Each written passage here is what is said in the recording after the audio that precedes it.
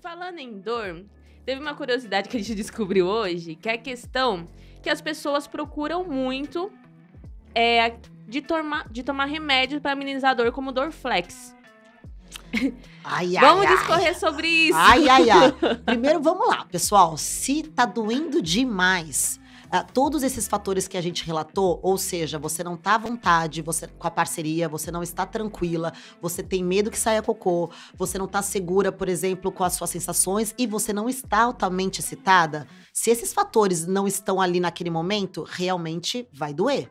Não vai ser bom né? Então, a gente vai ter que rever. Tá doendo muito? Alguma coisa tá desconectada, né? Não tô à vontade com essa parceria. Ah, eu tô com medo porque eu não fui no banheiro hoje. Não tenho confiança de que se sair alguma coisa eu não vou ter vergonha.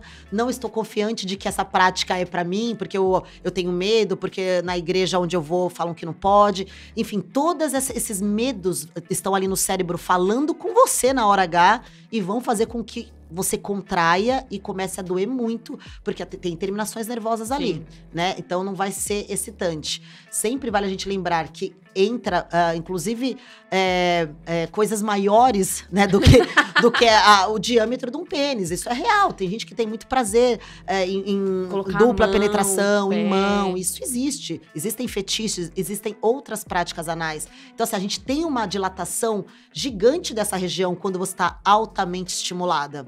Então, se está doendo muito, você não está altamente estimulada, ou todas essas encanações que a gente falou estão muito presentes. Então, a gente vai ter que eleger um outro outro momento. Vamos ter que conversar com essa parceria.